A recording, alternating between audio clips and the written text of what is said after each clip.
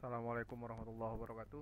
Baik, ini kita masuk ke, mat ke materi perhitungan alat gali.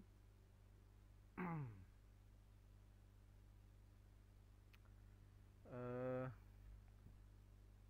dapat dilihat di sini ada proses kerja pemindahan tanah ya, baik itu digusur nantinya digali dan lain-lain. Pada dasarnya pekerjaan pemindahan tanah adalah sama, yaitu memindahkan material dari satu tempat ke tempat lainnya. Akan tetapi proses pekerjaan dalam pelaksanaannya dapat berbeda-beda. Hal ini dimungkinkan karena adanya beberapa faktor. Yang pertama, sifat fisik material, jarak angkut, tujuan akhir, yaitu kondisi lapangan, tuntutan kualitasnya bagaimana, dan skala proyeknya, besar kecilnya proyek. Dalam pekerjaan pemindahan tanah sebelumnya perlu dilakukan land clearing. Land clearingnya ini yaitu pembersihan lahan. Setelah pekerjaan land clearing tersebut, maka ada pengupasan lapisan atas, ya, topsoil atau stripping, penggalian, excavating, hauling dan dumping. Sini ada ikhtisar sistem kerja pemindahan tanah ya dari awal awal dari awal sampai akhir sampai dia apa namanya diproduksi ibaratnya seperti itu. Di sini seperti land clearing itu penggunaan alat bulldozer ya pembersihan lahan. Setelah itu ada soil stripping pemotongan bagian atas itu masih menggunakan bulldozer. Kemudian excavating ya excavating sifatnya excavate itu ada tiga sistem. Ada cutting motong ada ripping bajak dan ada blasting ledakan ini. Ya. Jadi dapat dilihat di sini pada saat ripping bisa menggunakan bulldozer dan ripper.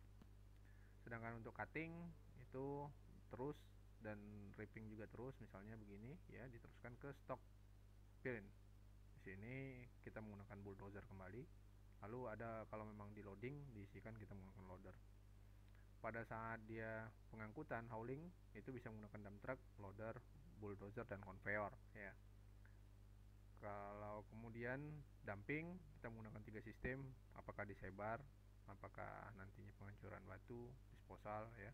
Ini semuanya ke wilayah produksi akhirnya. sama alat-alat berat yang digunakan pada pekerjaan minyak tanah seperti yang saya sampaikan di awal pengupasan topsoil itu bulldozer pemotongan itu bisa menggunakan ekskavator bulldozer scraper dan lain-lain. Sampai yang terakhir itu penyebaran atau spreading atau grading bulldozer motor grader ya. Jenis attachmentnya ini jenis uh, alatnya alat uh, penambahnya ya. Ada angel blade atau pisau yang bersudut dan ada pisau yang lurus track blade misalnya ya. Kalau bulldozer kalau ripping dia menggunakan alat bajak ripper. Alat gali yang sering disebut dengan eskavator ya eskavator yang terdiri dari dia ada tiga bagian eskav uh, di eskavator. Ada revolving unit bagian atas yang dapat berputar. Kemudian ada traveling unit untuk berjalan berpindah tempat. Kemudian attachment. Attachmentnya yaitu uh, seperti hu-nya ya. Cangkulnya ya, berbentuk cangkul seperti itu dan lain-lain. Attachment yang penting untuk diketahui di sini ada crane dipper shovel. Jadi ini bisa diganti dalam bentuk uh, attachment tambahan. Ada backhoe, ada dragline dan clamp seal. Bagian dari traveling unit ada crawler mounted dan ada truck mounted. Nah, truck mounted ini tambah outriggers. Nanti kita lihat yang mana outriggers agar tidak terjadi cooling. Kita lihat gambarnya yang crawler mounted ya. Yang crawler mounted ini dia tadi. Nah, ini yang revolving unit. Ini bagian atas ini revolving unit dia bisa berputar. Nah, bisa berputar ini bagian revolving ini attachment ya. Ini attachment tadi. Ini dari sini ada boomnya ada lengannya sampai kepada hu-nya ini cangkulnya ibaratnya penggalinya ini. Nah kemudian kalau dia berjalan ya kalau dia berjalan ini masih dalam tahap penggalian sebentar. Nah, sama. Saya kembali. Nah ini. Kalau dia berjalan berpindah ya berpindah maksudnya dari sisi satu ke sisi berikutnya nih misalnya dia berjalan nih. Nah ini namanya traveling unit ya dari crawlernya ini. Oke baik. Kemudian itu tadi yang uh, dudukan mountingnya. Kemudian kalau yang dudukan yang menggunakan lebih kurang menggunakan apa uh, mobil ya sistemnya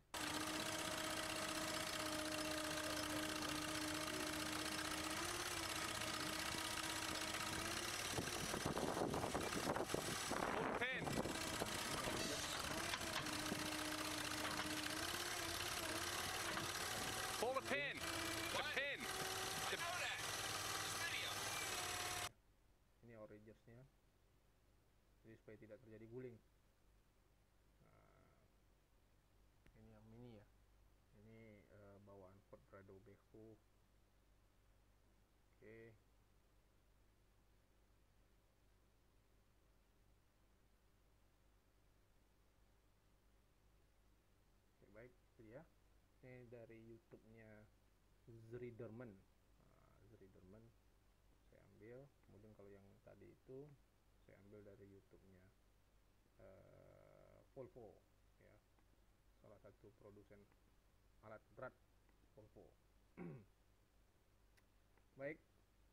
Kemudian uh, yang tadi pada umumnya ekskavator mempunyai tiga pasang mesin penggerak penggerak untuk mengendalikan attachment tadi. Attachment ya attachmentnya tadi yang dari lengan sampai alat galinya. Kemudian revolving unit untuk berputar. Kemudian untuk berjalan ya. Untuk berjalan itu tadi traveling unit. Pada crawler mounted excavator, mesin penggerak pada umumnya bersumber pada power unit yang sama dengan mesin-mesin penggerak lainnya. Sedangkan pada truk mounted excavator biasanya digunakan mesin khusus. Jadi kalau yang truk mounted tadi, yang berbentuk truk tadi, punya mesin khusus yang bisa berpindah tempat dan dipilih uh, mesin yang tinggi agar diperoleh mobilitas yang tinggi. Eskavator adalah alat yang bekerjanya berputar bagian atasnya pada sumbu vertikal di antara sistem roda-rodanya, sehingga eskavator yang beroda ban ya ban atau truk mounted pada kedudukan arah kerja attachment tidak searah dengan sumbu memanjang sistem roda-rodanya.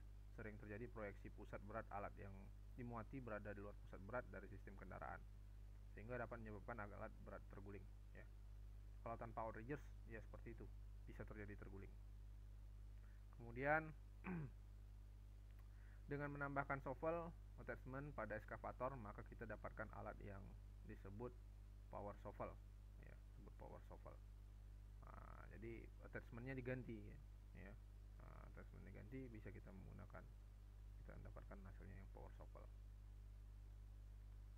kemudian ini dia pemilihan ukuran shovel banyak volume pekerjaan penggunaan jenis traveling unit berdasarkan mobilitas tadi ekskavator sekarang kita masuk ke power shovel nantinya Pemilihan ukur shovel yang besar berdasarkan pertimbangan sebagai berikut.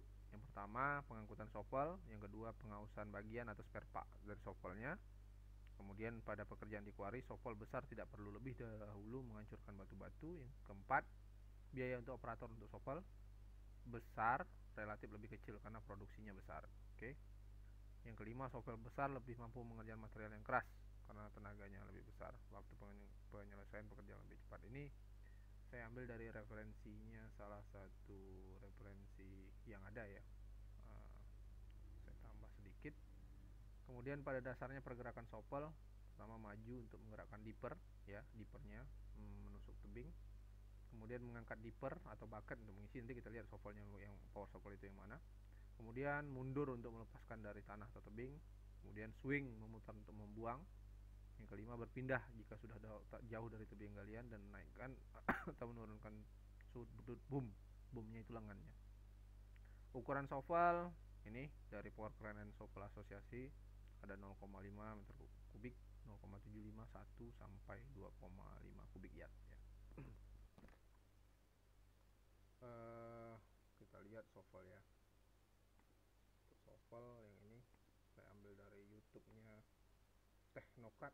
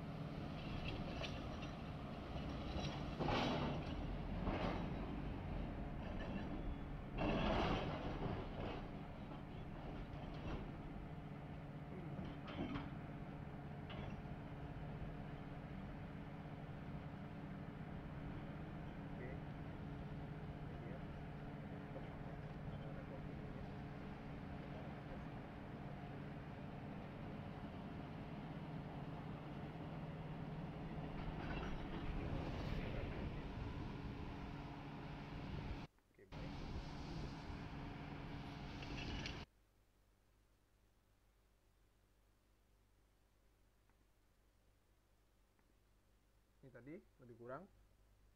Diagram jangkauan Soffel ada panjang boom. Yang B ini panjang boom. D tinggi buang maksimum ya. Yang D ini tinggi buang maksimumnya D. Yang E radius buang maksimum ini radiusnya. G tinggi gali maksimum ini G. Kemudian dalam gali maksimum SI ini ya I kemudian ya radius gali maksimum yang J ini radius galinya dan X sudut putarnya. Ya, X sudut putar maksimum. Produksi sopel sangat berpengaruh pada waktu siklus atau cycle time. Satu cycle time tetap sama lah lebih kurang dengan kondisi-kondisi yang lain. Dia e, menggali ini karena pekerjaan menggali? Mengisi bucket atau dipper dipper ya. Berputar membuang berputar lagi ke posisi semula ya untuk menggali yang berikutnya pengaruh tinggi tebing galian pengaruh sudut putar pengaruh keadaan medan atau job condition. Jadi keadaan medan ini uh, mengganggu ya eh, menggang ya mengganggu dari pekerjaan. Dalam arti kata mengganggu itu uh, kondisi lingkungannya. Kalau lingkungannya baik kan gangguannya kecil gitu ya.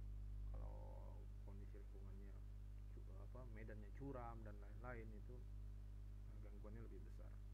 Pengaruh pengadaan manajemen manajemen condition ini di perusahaan kemudian di sini dapat lihat produksi ideal power sopel dan tinggi galian pengaruh tinggi tebing galian. Jadi ini ada dua angka di sini nantinya. Kalau yang angka atas ini ukuran power sopelnya atau dippernya ya. dalam kubik yard. Atau untuk penggalinya ya ini dia satuan apanya e, volume galiannya. Jenis tanahnya ini kita lihat. Sini ada dua e, apa namanya angka angka dalam arti kata seperti 3,8 dan 85 ini di catatannya. Angka ini atas merupakan tinggi gali optimal satuannya fit. Nih.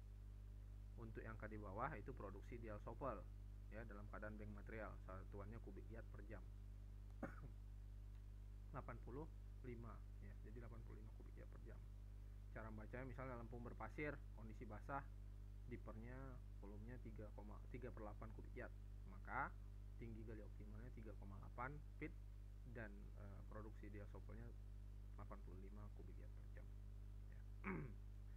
tinggi tebing galian yang paling baik ialah yang sedemikian besarnya sehingga pada waktu dipper atau bucket mencapai titik tertinggi tebing sudah penuh terisi dengan tidak perlu memberikan beban yang berlebih mesin. Tinggi tebing yang demikian disebut dengan tinggi optimal ya.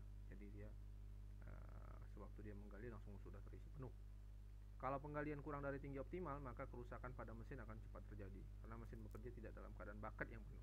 Sehingga pekerjaan yang sewajarnya bisa satu pas atau satu kali uh, berjalan bisa menjadi beberapa kali. Ya. Jadi bisa berulang kalau semakin berulang dia kondisinya uh, uh, permasalahannya di mesin ya. Dalam arti kata uh, ya samalah kalau kita sudah uh, bekerja terus kondisinya akan cepat haus ya lebih kurang seperti itulah haus dalam arti kata haus mesinnya gitu.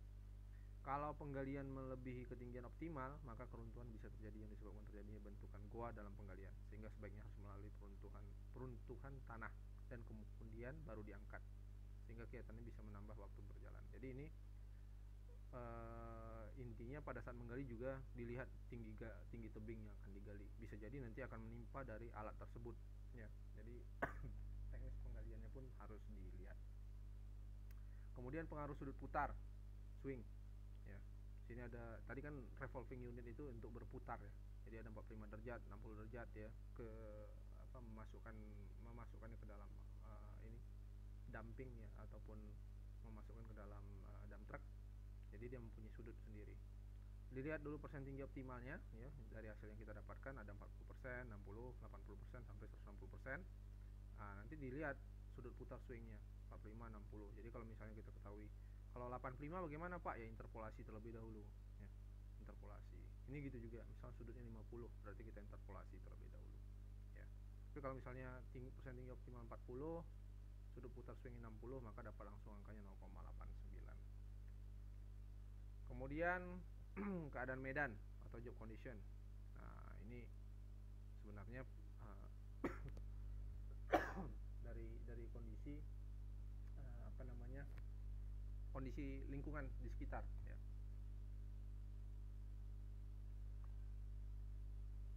kondisi medannya pada saat bekerja dan manajemen dari perusahaan. Intinya misalnya gini keadaan medan kita kondisinya kita nilai ya. Baik sekali nih kondisinya oke. Okay. um, manajemen kita pun begitu juga baik. Maka angka yang kita ambil itu baik di sini 0,75 ya. Karena baik di sini pun 0,75 jadi dia dilihat dulu keadaan manajemennya atau dari keadaan medannya baru digabungkan kepada penilaiannya. Ditarik ke samping. Ini salah satu contoh perhitungan ya. Jadi dia e, lebih kurang sama dengan perhitungan sebelumnya. Ini dikali lurus saja nanti. Sebuah shovel bucket satu kubik yard menggali tanah lempung keras berupa tebing dengan ketinggian 2,3 meter. Sudut putarnya ya ini saya ambil contoh dari referensi Universitas Sumatera Utara. Ini ada di belakangnya ya saya ambil dulu referensinya ya, saya kutip dari Universitas Sumatera Utara sebagai contoh Sebuah shovel bucket 1 kubik yard menggali tanah lempung keras berupa tebing dengan ketinggian 2,3 meter, sudut putar swingnya 75 derajat. Kondisi medannya sedang, kondisi manajemennya baik. Berapakah produksi shovel per jamnya? Dari tabel 1 ya. ini tabel 1. Mohon maaf. Tabel 1 untuk tanah lempung keras dengan ukuran bucket 1 kubik yard bucket 1 kubik yard tanah lempungnya tadi lempung keras. Maka kita lihat. Nih lempung keras. Mana ya nih tanah lempung keras bucket 1 kubik yard maka tinggi optimalnya tinggi galinya 9 feet. Dan produksi idealnya 145 kubik yard per jam. Ini dia. Kalau kita rubah ke meter 9 feet sama dengan 2,75 meter. Persen tinggi gali optimal sama dengan ini merupakan ketinggian ya berupa tebing tebingnya kita lihat dengan ketinggian 2,3 berarti 2,3 per 2,75 dapatlah kali 100% untuk persen tinggi gali optimal 83,64 swing yang kita gunakan 75 derajat. Nah berarti kita ambil di sini 75 60 sampai 80 di sini. Jadi berarti interpolasi. Tapi kita lihat angka interpolasi di mana gitu. Eh sorry ini 60 sudut putar swingnya tadi mohon maaf. Ah ya swingnya 75 persen tinggi gali optimal 83,64 nah nih. 83,64 itu interpolasi di 80 dan 100 nah tadi 75 berarti di, kita interpolasi 1,04 dengan 1,07 ini. Ya dari hasil interpolasi yang didapatkan dapatnya 1,05 ya. 1,05 hasil interpolasi. Keadaan medan sedang keadaan manajemen baik maka dari tabel 3 medannya sedang nih. Ini sedang. Manajemennya baik ini dia. Berarti dapat angkanya yaitu 0,69 0,69 ini kita kalikan terhadap produksi sopel idealnya ya. Tadi 145 ini dia. 145 kubik yard per jam dikalikan 1,05 dari pengalian ini kemudian dikalikan 0,69 dia produksi software dikalikan terhadap faktor koreksinya dikalikan terhadap keadaan manajemen dan keadaan medan sedang ya. Dapatlah 105,05 kubik yard per jam dalam keadaan bank material atau kita rubah menjadi meter kubik 80,32 meter kubik per jam. Oke baik. Sampai di sini dulu materinya. Uh, kita sambung untuk uh, bagian berikutnya nanti. Assalamualaikum warahmatullahi wabarakatuh